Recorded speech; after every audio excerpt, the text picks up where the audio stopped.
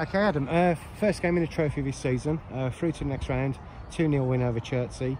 Uh, thoughts, thoughts on the game?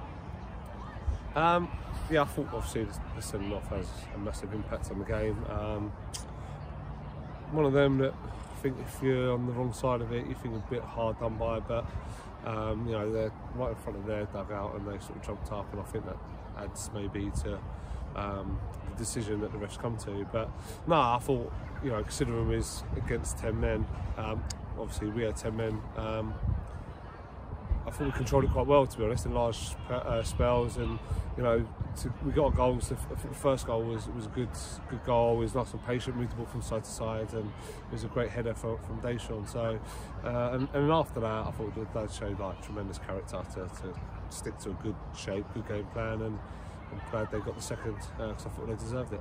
Yeah. Did it again? Goal right on half time. Probably change your team talk a little bit.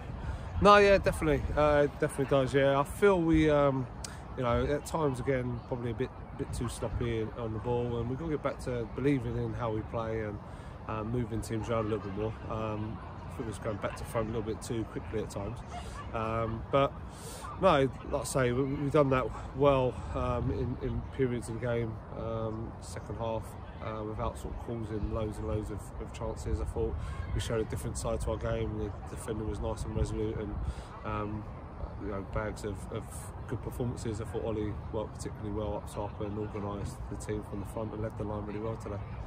Yeah, and in, in a way, I, I felt that with, with, the 10 men, you've talked about the control. I think our game was more, more controlled than it was with 11 men in a, in a funny sort of way.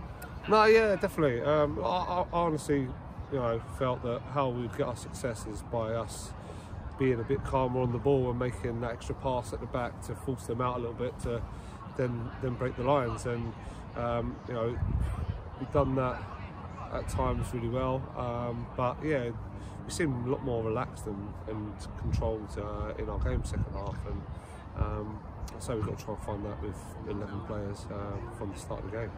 Yeah, and you, you mentioned Harrison Mayles save save at the end. Like I say, I think the first header was onside. Yeah. And he was cracking save. I think the follow up yeah. the follow up was offside. No. But that, that, was quite an important moment. But we we just scored with Reese. Yeah. Um, this was possessing their player down that far side, and he, he, he made the right decision there because sometimes we see him sort of try and cut in and take a shot, no, but he decided to square no, it. it was great, great ball from Joel to put it in behind, put the defender under trouble, and then you know Miki's work rate to go press, and um, you know I'm glad them two got their uh, rewards um, in the end because, like I say, it's a great decision from Miki to cut it back. And like I say, I think Ollie was brilliant, so I'm glad he got his goal. So um, no, all in all, like everyone was needed today, weren't they? Um, you know, every single player was needed out on the pitch from Harrison and, and the forward players. And um, yeah, I, I don't know whether it's going to be one game too many. Like we didn't make too many changes. Uh, we tried to rest Barker up, and then obviously he, he can come on for Ty because um, he's had a few hamstring problems in the past. And then Jesse and Deshawn just literally give everything and run out of legs um, towards the end. So, you know, the recovery is going to be important now because we've got another big game Tuesday. Yeah, I was just about to say we, we can get Finchley away on Tuesday. Uh, another tough, a bit of a long travel as well. Yeah. Obviously getting back late, and then then obviously we were at home on Saturday. So, yeah.